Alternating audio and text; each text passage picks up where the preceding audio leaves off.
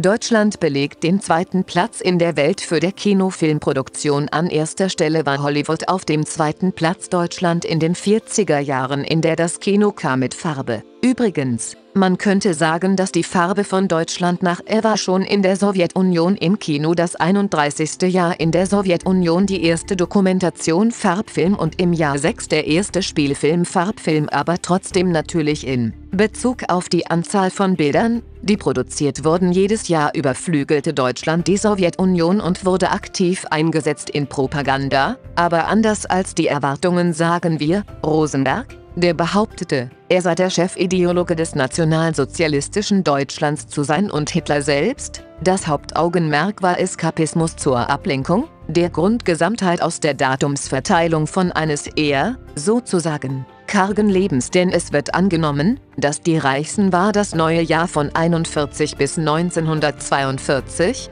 denn von den besetzten Gebieten begann die Oliven und das Brot und das Schweinefleisch zu finden. Die waren gezüchtet aus der beraubten Gesamtpopulation als ob die Verteilung und Rationierung in Deutschland war streng und also suchten die Ohren nach Ablenkung und Flucht vor der Realität war genau das, was das ist es, worauf Goebbels in seiner Propaganda setzte weil die Produktion von Filmen wurde vollständig vom Ministerium kontrolliert Propaganda und die schnellste Erlangung und Kreditlinien waren für künstlerische Bilder des Genres Licht musikalische Revuen, waren von verschiedener Art Zeit und übrigens auch Goebbels selbst oft schrieb Operetten um und alte Skizzen Hitler dachte, dass sie ziehen es gibt nicht viel deutsches Kino nationalsozialistisches Kino und Rosenberg dachte, das Licht vor und Goebbels ist eine Pöbelei und verbirgt dies fehlende Vorstellung aber dennoch den Untergang schleppend, den er glaubte dass die Produktion dieser ablenkenden Filme es würde sich irgendwie beruhigen um die Bevölkerung gut abzulenken. Natürlich nicht nur diese Filme wurden aber unter der Schirmherrschaft von des Ministeriums für Propaganda. Es gab unverhohlene Propagandafilme und leider zu einem ausreichend hohes künstlerisches Niveau. Deshalb waren sie so zerstörerisch vor allem diese ewige und jüdischer Zus zwei Filme mit semantischem Inhalt. In der Tat, die waren Propaganda, Außenposten eine Art des Regimes selbst und bewahrte Beweise dass nach der Ausstrahlung des Films Die ewige Junge schleppte sie in die belebte die Nationalsozialisten prügelten die Juden zu auf dem Weg aus dem Kino zu Tode. Das ist so viel hiervon die Einschärfung dieses misanthropischen Ideologie durchdrang die der Bildschirm dass ihr jungen Leute direkt die Slogans und die Botschaft der den Film selbst in den Bereich der Praktikabilität diese Filme waren verpflichtend zu zeigen an alle Wachen in den Konzentrationslagern. Es war ein Pflichtprogramm durch Direkte von Himmler wurde es gezeigt um zu erhalten, wie er das notwendige Maß an Hass, sagte er um diese nicht wahrzunehmen Menschen als ihre eigenen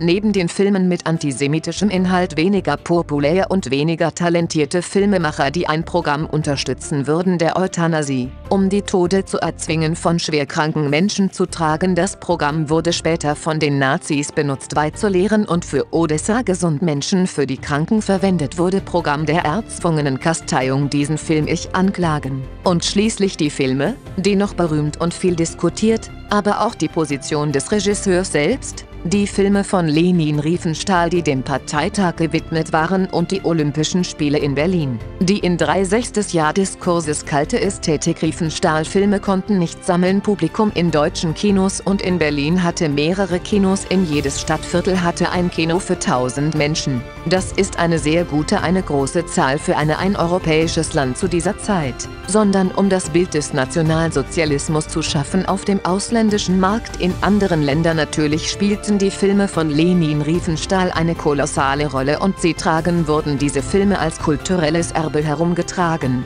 Programm beim Ribbentrop-Treffen mit Vertreter anderer Staaten, insbesondere bei der Unterzeichnung des Paktes Molotow-Ribbentrop in der Jahr 39, Joachim von Ribbentrop als Kulturprogramm brachte Filme Riefenstahl und nach Moskau. Um Stalin zu zeigen war es, die Norm zu finden es war seine Bruder eine Art respektabler Visitenkarte des Nazi-Regimes. Teil der Filme waren auch zu historischen Themen, weil eine der Propagandatechniken der Nazi-Propaganda war es, die Nationalsozialismus im Kontext der Weltgeschichte und natürlich Filme über Friedrich, die auf der Handlung und Kohlberg von ziehen zu verteidigen. Festung von Napoleon war es gewissermaßen auch in der Produktion des Propagandaministeriums aber für ein so großes Publikum wie, sagen wir mal ein Unterhaltungsfilm. Und natürlich haben sie konnte nicht als separate Position gesammelt werden. Die letzten Filme können herausgegriffen werden. Dokumentationen oder dokumentarische Militärzeitschriften die er der berühmteste ist nicht der einzige es muss betont werden, ist nicht der einzige ein Magazin,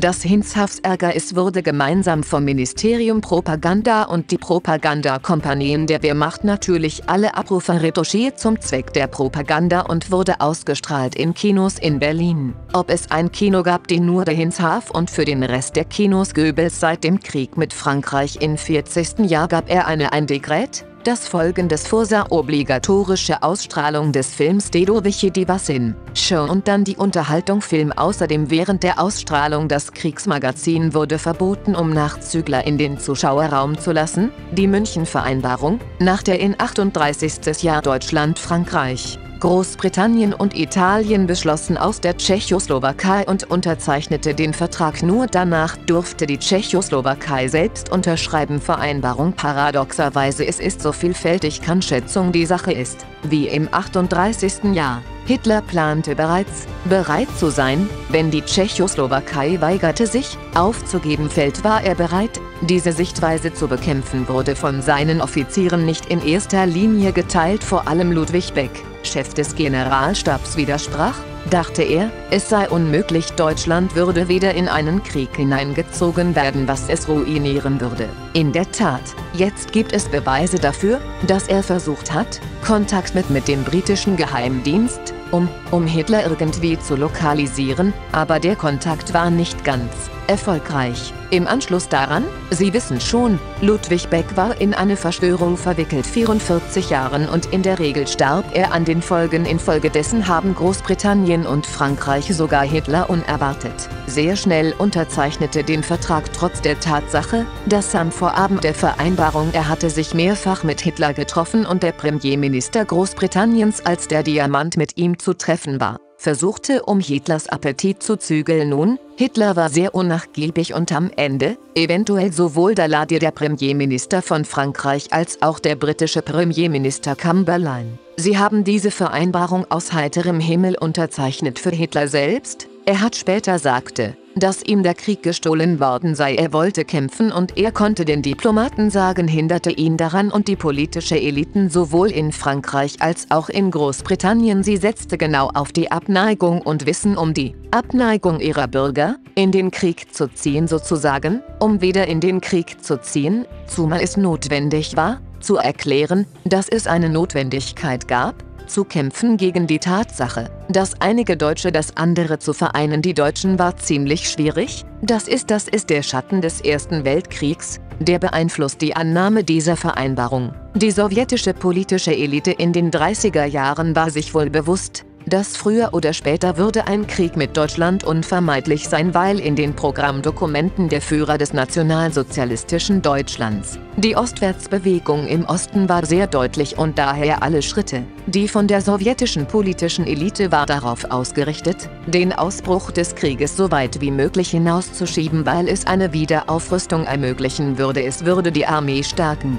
es würde neue Waffensysteme entwickeln, es würde das Land schützen. Deshalb der Molotow-Ribbentrop und dann zur Vertuschung Stalins Aussage, dass wir nicht an die das Deutschland angreifen würde und die Rede in Pravda praktisch am Vorabend des Angriffs die Entlarvung nach Deutschland schleppen verschiedene Journalisten, die der Versuch, darüber zu sprechen, war ein Versuch, den Beginn von etwas zu verschieben. Natürlich haben sie verstanden, dass früher oder später würde es passieren als Hauptdeckung für den Krieg gegen die Sowjetunion. Das Ministerium die Propaganda verwendete den Slogan über den präventiven Charakter des Krieges, behauptete, dass die Sowjetunion einen Angriff plante Deutschland und Deutschland war gezwungen, sich zu verteidigen und das war der einzige Grund, warum ich am 22. Juni, dem 41, Deutschland überquerte die sowjetische Grenze. Diese Aussage wurde in erster Linie ausgestrahlt vor allem in der Weltpresse und diese Aussagen wurden auf Radiosendern ausgestrahlt auf die Sowjetunion gerichtet.